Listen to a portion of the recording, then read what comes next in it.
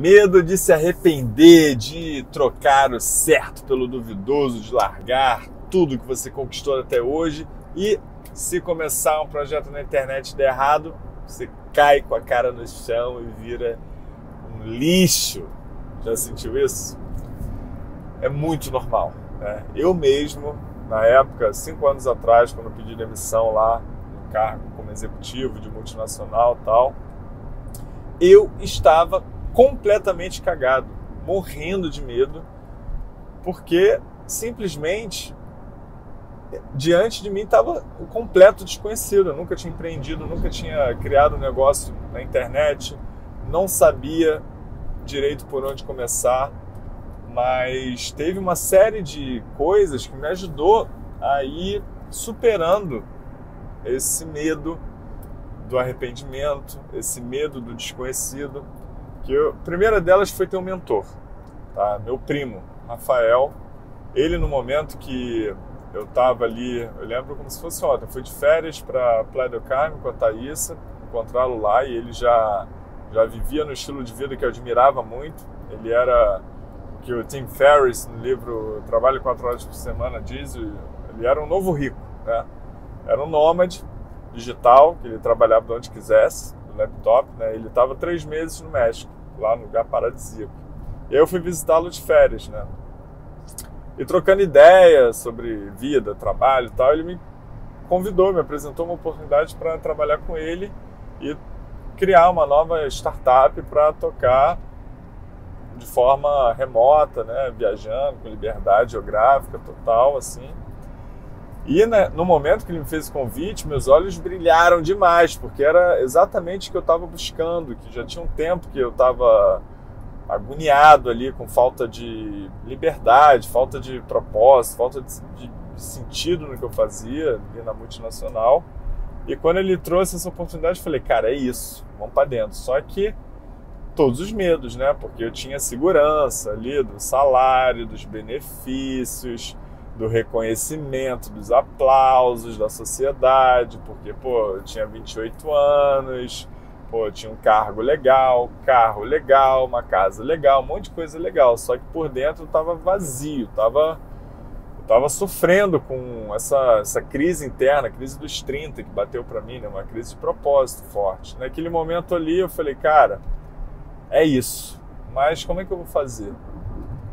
Como é que eu sigo? Então ele como mentor que sempre empreendeu, que tinha uma puta experiência, 20 anos empreendendo, me deu a segurança que eu precisava de entender que eu não precisava fazer esse movimento sozinho. Eu tinha alguém no meu lado para me orientar, para me dar, me apontar atalhos, para me ajudar com os momentos de dúvida e de questionamento, e enfrentar os fracassos.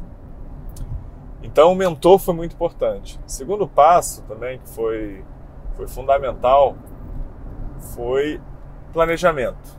Né? Eu me organizar. Então, ali naqueles dias de férias, eu já comecei a ver se era viável, comecei a ver a parte financeira, que é a primeira que a gente olha, né? se tinha economias, como é que eu poderia talvez reduzir meu estilo de vida, meu custo de vida, né, para um estilo de vida mais minimalista, mais essencialista, focado só no que no que importa e, e eliminando um monte de gasto e coisa desnecessária que eu ia abraçando né, inconscientemente. Né? Quanto mais eu ganhava, mais eu gastava e mais me endividava. Era muito louco isso. Né? E então planejamento me ajudou também a acalmar e minimizar fracasso, no sentido de que, pô, se tudo desse errado, eu tinha a economia que ia segurar a onda. Se acabassem as economias, eu poderia voltar a trabalhar também. Então ter assim alguns alguns planos, né? Eu brinco é o plano A ao plano Z. É o plano A é fazer tudo para dar certo. Tem o plano B que talvez através do, dos acontecimentos e das novidades daquele caminho, o plano A ele vá mais para um outro, uma, um outro detalhe, mais na mesma direção, né? E o plano Z, que é se tudo der errado, meu, qual vai ser? E aí eu tinha meu plano Z e todos esses planos aí para acalmar um pouquinho. Outra coisa que me ajudou foi considerar esse período um período teste e me dar um limite assim, falar, ó, eu vou dar o meu máximo para entrar nessa jornada, para empreender, para ter um negócio que dê certo, tal, mas eu vou me dar 18 meses para que eu comece a realmente ganhar dinheiro com isso, pelo menos mais próximo do que eu ganhava. E se em 18 meses eu não conquistar isso, aí eu vou rever os planos. E 18 meses, por quê? Porque era o período que eu tinha de economias ali, de boas, para é, patrocinar os meu, meu estilo de vida, né? E então esses pontos são muito importantes porque eles vão acalmando um pouco os medos né, do arrependimento. E lembrando que se você ressignifica a questão do fracasso como sempre uma oportunidade de aprendizado, não existe mais fracasso na sua vida. Só existe aprendizado. A cada erro, a cada queda, a cada porrada que você toma, você aprende, você se fortalece, você sai mais forte, né? porque do chão a gente não passa. Então, é o que o que não me mata me deixa mais forte, já, já dizia Nietzsche, né? E quando você integra isso de verdade, eu sei que quando você toma porrada, quando você sofre ali a queda, dói pra caramba. E não é para não doer, tá? Mas é para você não levar a dor e transformá-la em sofrimento. Porque a dor você não pode evitar, mas o sofrimento é a sua escolha. Então, a partir dali, você entende o que, por que, que deu errado, você aprende e você, na próxima vez, faz de uma forma diferente e você vai em ciclos de aprendizado sempre melhorando. E a partir desses aprendizados e dessas ressignificações que você vai fazendo na cabeça, você passa a ficar muito mais, é, muito mais confortável com o desconforto. E aí você começa a se tornar um empreendedor. E na verdade você já é um empreendedor, porque o empreendedor é um grande resolvedor de problemas. Você está cansado de resolver problema. Você resolve problema todo dia. Mas de repente, se você botar sua energia né, focando nas suas paixões, nas suas habilidades, o que o mundo precisa e formas de ganhar dinheiro com isso, você vai passar a resolver mais problemas dos outros e assim ser remunerado por isso e de repente conquistar o tão desejado estilo de vida com mais liberdade, com mais sentido, trabalhando com mais propósito, podendo passar mais tempo com as pessoas que você ama, com sua família, com seus filhos. Então, o medo de se arrepender, você pode trabalhar com coisas para minimizá-lo, mentor, planejamento, né? vários elementos que eu falei, mas além disso, você também pode reforçar os ganhos, os benefícios, toda a maravilha que vai ser caso você não se arrependa, né?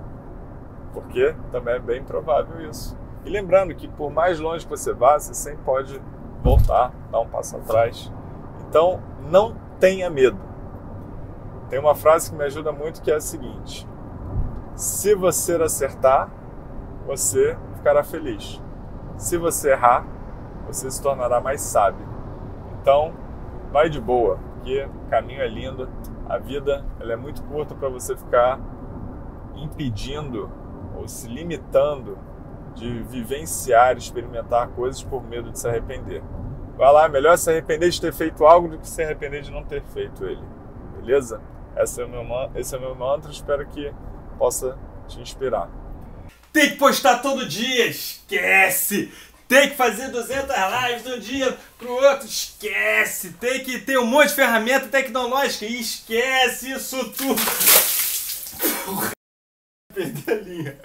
O que eu quero te mostrar aqui é que essas fórmulas todas, os gurus milhões, só vão te colocar num lugar, te prender na prisão do marketing digital, porque esse é o erro de 9 em cada 10 pessoas que estão começando hoje na internet. Então, se você quiser fazer diferente dessa palhaçada toda aqui e começar do jeito certo na internet, sem se tornar um escravo do seu negócio, eu quero te mostrar uma forma diferente. Ela se chama Nomis, Negócios Online Minimalistas. E num aulão gratuito, eu vou te mostrar três segredos para você realizar suas primeiras vendas na internet em 27 dias mesmo que você não saiba por onde começar ou ainda nem tenha produto, tá? Porque para você ter uma ideia, hoje os meus nomes me dão um lucro aí de mais de 30 mil reais por mês. E é lucro, tá? Não é faturamento que nem a guruzada te fala por aí. E eles patrocinam o estilo de vida que eu sempre sonhei. Eu vou te mostrar nesse aulão como você pode dar o seu primeiro passo concreto, tá? Para você se tornar um ser mais livre na internet. Você não vai ficar milionário, mas você vai conseguir dar o seu primeiro passo, beleza? Então, para participar, é só clicar no Saiba Mais aí e a gente se vê na aula, beleza? Seguimos! O